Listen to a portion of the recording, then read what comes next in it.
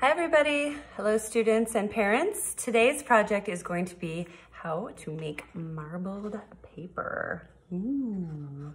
This is a really fun project for all ages. Um, the little ones really like it because it's like magical how you're able to transfer the spirally colors onto the paper. And it's really great for adults as well because you can use it to um, make cards or any sort of festive decoration or invitation. Um, we're all stuck at home right now, so I think making cards is a really great idea. This is one I did a little bit earlier that I put on cardstock. So it's nice and dry. So now I can just fold it over and then I have a nice little card that I can send to someone that I haven't seen that I miss that's also stuck at home. I'm not gonna fold it just yet because I wanna be real precise about it. But So this is really fun, great for all ages. So let's begin.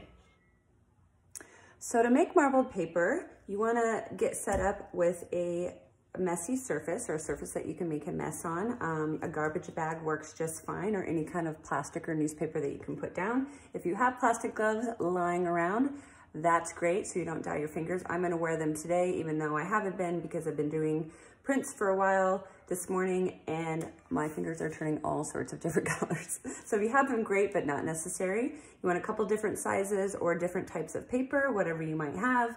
Some food coloring. You can use just the regular food coloring that you find at the grocery store, or if you have any kind of specialized coloring, I have some gel coloring left over from dyeing Easter eggs. And then if shaving cream, any kind will do. I bought this at the Dollar Tree store. Um, so this is the first print that I pulled off of the shaving cream dye. I just wanted to show you that you can get multiple prints. This is the first one and you're gonna have the most detail with that one, of course, because that's gonna pull all the color off. Well, not all of the color, but the majority of the color and you get all the nice detail in spirals. And this is the cardstock I explained at the beginning. Um, but this is just printer paper, um, so it's a little bit thinner, but this was the second time that I put the paper down, so the second print. Still looks pretty interesting in my opinion. And then I believe this is sketchbook paper, very similar to the printer paper, just a little bit thicker. So this would be the third print. Still really cool marbled effect, obviously not as detailed as the first one, but I think you should use all the dye you have um, and get as many prints as you can because this project is so much fun for all ages. The little ones will really just be amazed by how it transfers over. And then for teenagers to adult, you can do a lot of really fun projects with this, whether it's scrapbooking or creating cards or creating your own drawings right on top. I actually recommend that for the little kids as well. So my four, almost five-year-old, sometimes I'll give him sort of the more spread out prints and then he can do little doodles or drawings over the top. And sometimes they really come out really quite good. We'll use Sharpie or something like that to darken the lines and I've even framed a couple that way. So let's go ahead and get started. Um, you just wanna find anything around your kitchen that's kind of big and flat, just a plastic bin. A lot of you have the kind of tin looking ones for making cakes. And then you're just gonna wanna start spreading in your shaving cream. And I'm not gonna do the whole pan because I have kind of smaller size paper. Just kind of fill in the space. I think that's probably good. Pick a color. You can do five, six colors. You can do just two colors. It's really up to you. I think I'm gonna start with, I really liked how the yellow was looking. So just gonna drop in a little bit of yellow dye.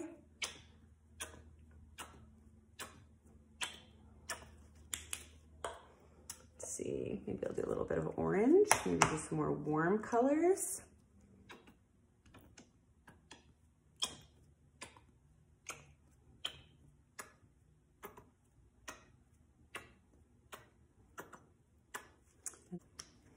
And stick with the warm colors and do red. Oh, that's coming out nice.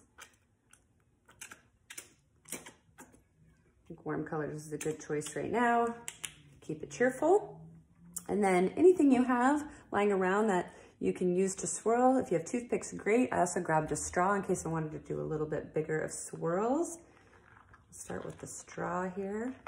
Go all the way across and down.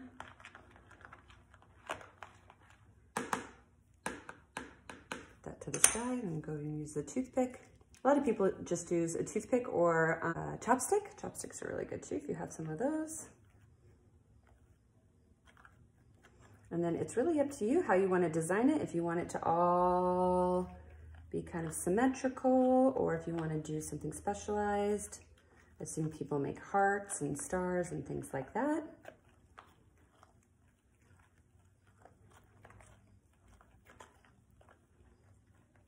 All right, I'm grab my first paper.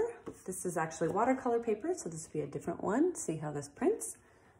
Okay, go ahead and just kind of press it down into the shaving cream. Make sure you get every corner nice and flat. This is where having the gloves on will come in handy. Go ahead and pull the corner off. Lay it down. And if you have a scraper laying around for when it's icy out, I have this left over from when I used to live in the snow. These are really great to scrape the shaving cream off or just a piece of cardboard works really well too. So I'm just gonna hold the paper with one finger I'm gonna scrape off the shaving cream. And then I have my first print. Nice warm colored marbled effect. So I'm gonna go ahead and put this off to the side to dry. And then I'm gonna grab another piece of paper. Since I still have quite a bit of color, it's not gonna be as marbled, but it'll still be pretty cool. And see, and this is why the gloves come in handy because I'm pretty messy. Oh, and then you can see here, I didn't press hard enough.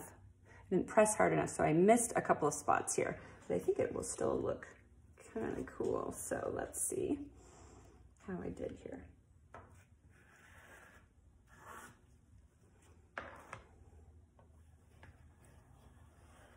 Yeah, still turned out really nice. And now that I look at these two, this is just printer paper and this is watercolor paper. And you can see the printer paper really absorbed the red so much more. So I think I like that. So watercolor paper might seem like a good idea because it's thicker, but it doesn't absorb as much. Let's do another one, see if we can get another print here. This time I'm gonna make sure to press it all the way down flat so I don't miss any spots. Really smush it in there. Always fun to get messy. For those of you that maybe don't have like surgical type gloves at home, um, kitchen, like dishwasher gloves work just fine too. I've used those quite a few times. And then you can just wash them off. You might dye them a little bit, but that's okay. Then it'll be kind of artsy.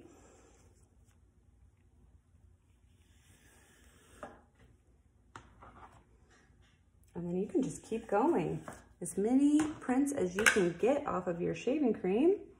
This one I think looks really nice. So it's kind of interesting when the third one might be your favorite.